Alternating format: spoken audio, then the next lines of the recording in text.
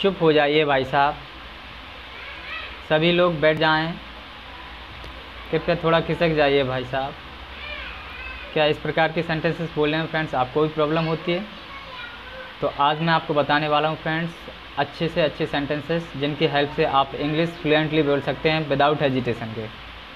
Hello friends I am Bhupen Singh in front of you and I and welcome to our YouTube channel all in one two point zero तो friends video को start करने से पहले I am requesting you if you are new in my YouTube channel please subscribe and press the bell icon यानी अगर आप नए हैं हमारी इस यूट्यूब चैनल पर तो जल्दी से सब्सक्राइब कर दीजिए, साथ ही बेल आइकन बटन को दबा दीजिए। और फ्रेंड्स अगर आप के भी फ्रेंड सर्कल में या कोई भी जो इंग्लिश बोलने में हेजिटेशन होती है तो आप उसको हमारे ये वीडियो शेयर कर सकते हैं। तो वो भी फ्रेंड्स मेरे इस वीडियो की हेल्प से विदाउट हेजिटेशन के विदाउट शेम के इंग्लिश बोलना सीख सकता है विद फ्लुएंटली तो चलिए, आज के इस वीडियो को हम शुरू करते हैं। तो फ्रेंड्स हमारा पहला सेंटेंस है, यहाँ आओ। आप कई बार अपने बच्चों को या किसी को भी बुलाते हैं, या किसी रिलेटिव्स को तो बोलते हैं, यहाँ आओ। तो बोल सकते हैं कम हेयर आपको फ्रेंड्स मेरे साथ भी बोलना है। एक बार मैं बोलूँगा, एक बार आप बोलेंगे। एक बार फिर से स्टार्ट करते हैं। यहाँ आओ कम हेयर एक बार आपको बोल दिया।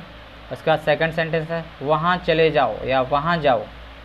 उधर जाइए, ऐसा ही बोल सकते हैं हम आप यहाँ पर, उधर जाइए।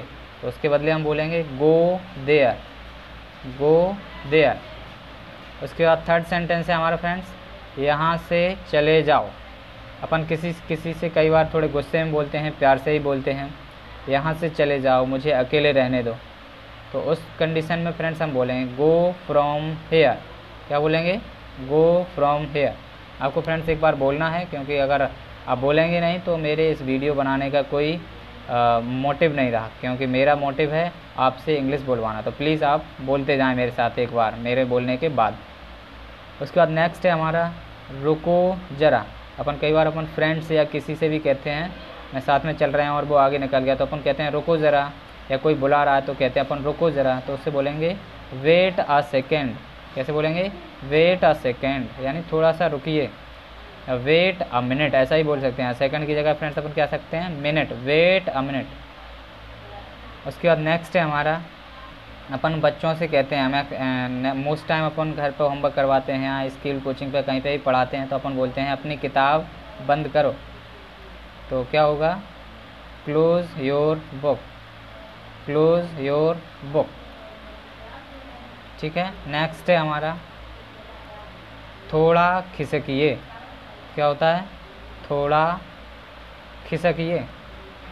तो मूव आ बिट इसमें फ्रेंड्स अगर अपन यहाँ आगे कृपया लगा दें, कृपया थोड़ा खिसकिए तो यहाँ पर प्लीज़ लगाना पड़ेगा। प्लीज़ मूव आ बिट इससे फ्रेंड्स सेंटेंस थोड़ा अच्छा लगने लगता है।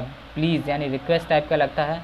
तो कोई भी बंदा है या कोई भी स्टूडेंट्स है, वो आराम से खिसक जाता है, उसको लगता है अच्छा लगता है बोलने में। तो प्लीज़ मूव आ बेट उसके बाद नेक्स्ट है हमारा, चुप रहो या शांत रहो। अपन कहते हैं चुप रहो। कई बार हम फ्रेंड्स बोलते हैं, अपने फ्रेंड सर्कल में भी बोलते हैं, चुप रहो, मेरा दिमाग ख़राब मत करो। ऐसे बच्चों से क्लास में बोलते हैं, चुप रहो, शोर मत करो। तो अपन बोल सकते हैं कीप क्वाइट क्या बोल सकते हैं फ्रेंड्स कीप क्वाइट की या फिर कीप साइलेंट यहाँ साइलेंट की जगह क्वाइट भी बोल सकते हो Q U I E T या साइलेंट जो भी बच्चे फ्रेंड्स नोट करना चाहें वो नोट भी कर सकते हैं, ठीक है? उसके बाद शोर मत करो। तो शोर मत करो डोंट मेक आ नॉइस क्या होगा friends don't make a noise उसके बाद है, एक एक से आओ। अपन कई बार कोई ऑफिशियल वर्क कर रहे होते हैं या स्कूल में भी या कोचिंग पे भी प्रेजेंटी टाइप का लगा रहे हैं। जहाँ पर क्राउड ज़्यादा है पब्लिक ज़्यादा है, भीड़ ज़्यादा है तो अपन बुलाते हैं।